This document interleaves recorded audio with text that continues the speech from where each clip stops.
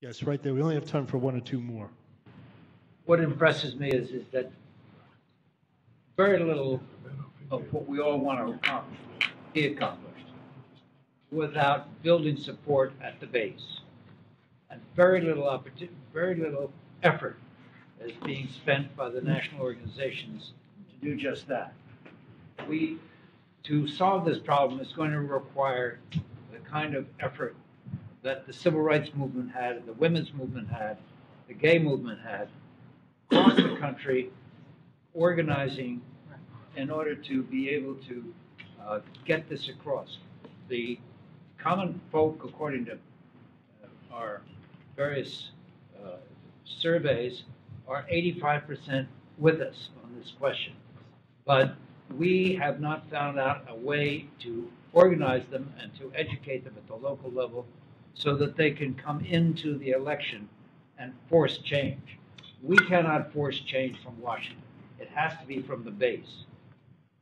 Well, but I also think it's relevant, I, I mean, I agree with you, but I also think it's relevant that we don't have any political leaders who are able, who have been able to connect with people on these issues.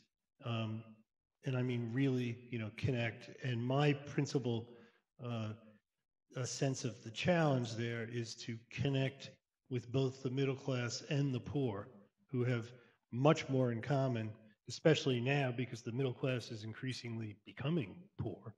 And you know, programs like uh, the food stamp program are a middle class program, and the occupant of the White House got there because he was able to convince the middle class that the biggest threat they had was from uh, you know poor immigrants, not from uh, the opposite.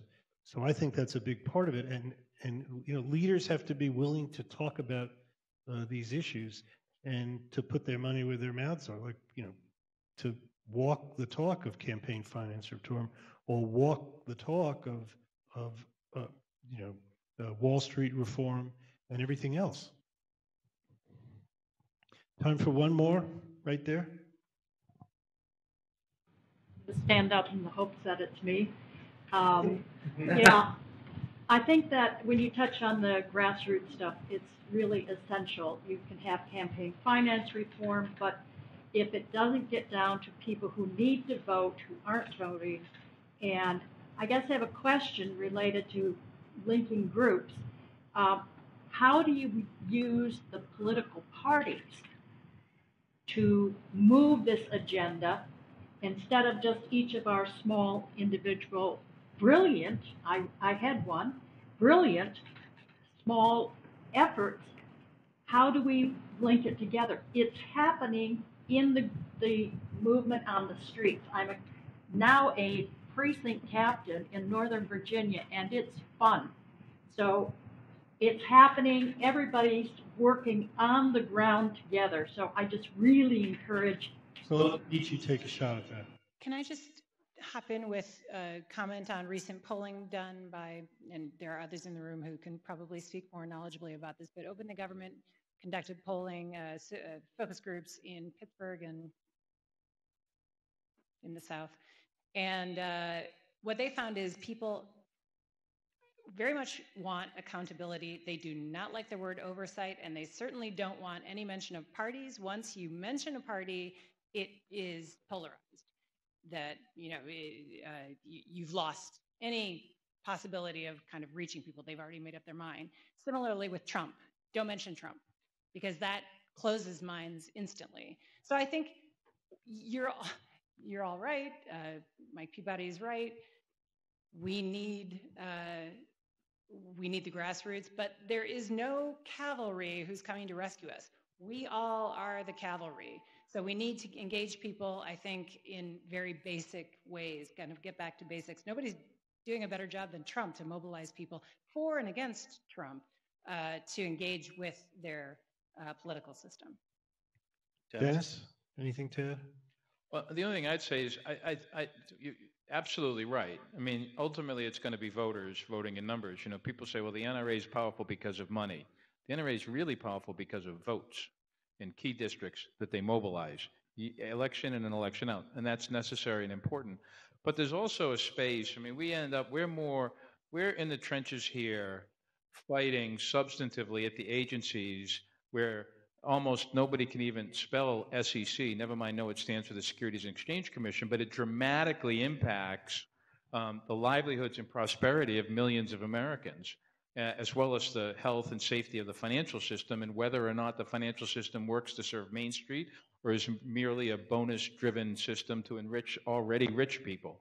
And so I think there should be a combination of both, and you can't do one or the other. It's almost like a false choice to say you must do one or the other. Frankly, you've got to do both. But at the end of the day, um, you have to have votes. People have to get activated, and people have to vote their principles. And it gets back to ultimately making the case for the common good. I mean, the financial system in Wall Street is meant to serve and facilitate the common good and broad based prosperity, not merely enrich already rich financiers. And that's a case that can be made. That's not necessarily going to get you know, a dozen precinct captains working. And so you need a combination of them both, both fighting in the policymaking process. I think of it as kind of until the restoration happens, or whatever, whatever that's supposed to be, so that the land is not laid waste before they come, before the restoration happens. Uh, So I, Nick, I think final that, word. yeah, so uh, I think that what we've got to do is put a, is put a big deal together that has enough bipartisan support that we can make it a defining issue of the 2020 cycle. The easiest way to get the public engaged in this is through the ballot box, it's through leaders, it's through the electoral process. Um, we don't collectively have enough money to run a $100 million grassroots campaign. You know, none of us combined could ever imagine what that's like. So instead, we kind of have to put inject something at the top, get a try to find some leaders who can back it, Republican and Democrat, and then make sure that it is an issue, a defining issue, and a defining part of the conversation in 2020. So they're coming out of 2020, one of the top three, preferably, if not top five issues, is fixing the broken system and beginning to restore our democracy. That's it's a little bit more of an elite play, just out of a sheer recognition of how long it would take for us to assemble the money to do a total grassroots play. But I think the grassroots can come into it um, as long as it's uh, uh, uh, alive within the context of 2020. Um, but I will I will close simply by saying that when Steve asked us about our budgets, the other thing there aren't any major donors in the room here, but there are a lot of people who work at the groups that you know do the work. Um, it's all of our faults that we're underfunded. Okay, because unless we're capable of producing a vision and a strategy that is compelling to capture the imaginations of the donors, and unless we are capable of laying out how much that strategy would cost and what we're capable of accomplishing with a surge in resources, then they're not all going to sudden come along and parachute down on our front lawns and say, hey, I've got $20 million, what would you like to do with it? If there's a chicken egg thing here. So I think that if we, when we talk about needing to go big, and we do, we first have to get our own kind of ducks in a row here um, and begin communicating that compellingly to the donor class. With that as our final word, I'd like to thank you guys for having me and thank you all for coming. And buy the book. Buy the book.